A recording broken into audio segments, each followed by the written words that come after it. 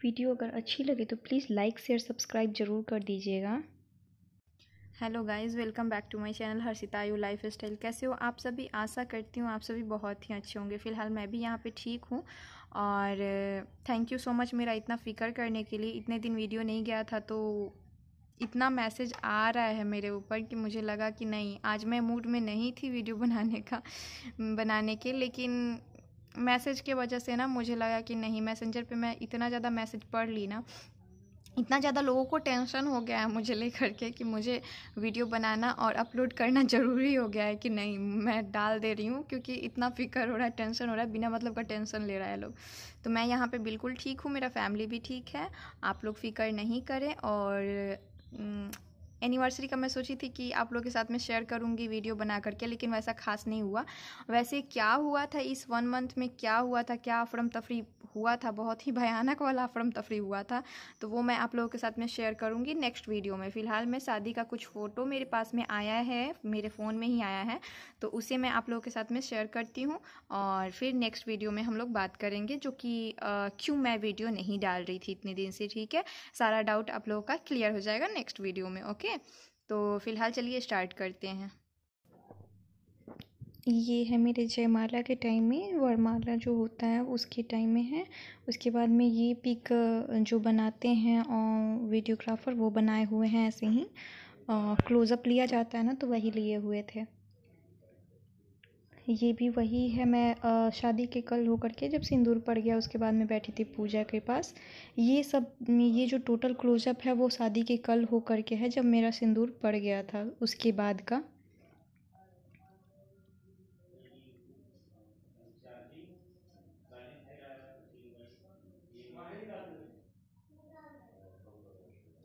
ये मैं हूँ, दीदी है और बीच में बुआ है। ये बड़ी मम्मी जो कन्यादान कर रही हैं, वो बड़ी मम्मी हैं और बगल में मामी जी हैं।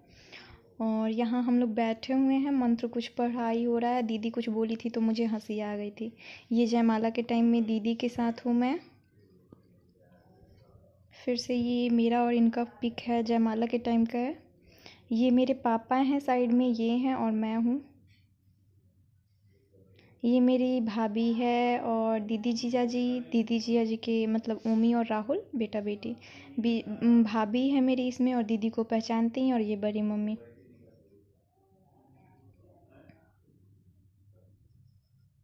यहाँ पे कुछ कसम वसम खाया जाता है। क्या वही हो रहा था? शादी का कुछ कुछ क्लिप है, जो कि मुझे भी समझ, मुझे, मेरा नींद से हालत ख़राब है यहाँ पे। यहाँ मंत्र पढ़ा रहे थे मुझे।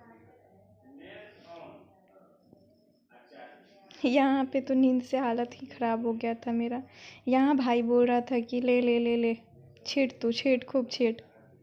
यहाँ पे मैं मंत्र पढ़ रही थी। फेरा होता है ना, सात फेरा वही है। यहाँ पे भी ये कसम खा रहे थे। धड़कन पे हाथ रखवा करके कसम खिलाया जाता है। यहाँ सिंदूरदान की तैयारी के लिए, तैयारी कर रही हैं मामी। मामी, दादी मेरे पापा की मामी हैं वो। यहाँ ये सिंदूर डाल रहे हैं। इसके बाद भी कुछ कुछ होता है रस्म उसी का फ़ोटो है कसम ही खाया जाता है। ये कल के पास में ना मटका भरा जाता है वो पता नहीं पुरहर बोलते हैं। ये है बीच में मेरी बुआ वो दीदी और ये मैं हूँ। टीका को देखिए कहाँ भागा है। ये शादी के कल होकर के हम लोग में होता है आ, क्या तो बोला जाता है उसको ये चतुर्थी के दिन। चारवें चौथे दिन हम लोगों में रेड सिंदूर पड़ता है तो इसी के लिए मैं रेडी हुई थी, अभी रेड सिंदूर पड़ा नहीं था। ये शादी के कल होकर के इनके फ्रेंड लोग हैं और ये मौसी की बेटी है। ये चौथे दिन का ही है जब मैं रेडी हुई थी। ये मेरे पापा हैं साथ में। ये भी चारवें दिन की है।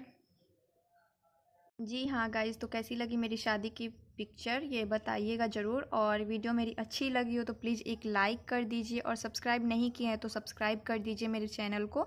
और हो सके तो आप अपने फ्रेंड सर्कल में, रिलेटिव जितने भी हो, आपके फ़ोन में जितना भी कॉन्टैक्ट हो उसे आप शेयर कर दें ताकि ज़्यादा से ज़्यादा लोगों, लोग मेरा वीडियो देख देख सके, ठीक है? तो फ़िलहाल मैं वीडियो को करती हूँ इंड यहीं पे। और tata bye bye, take care. इतना सपोर्ट करने के लिए थैंक यू और इतना ज़्यादा फ़िक्र करने के लिए थैंक यू तो फ़िलहाल टाटा बाय बाय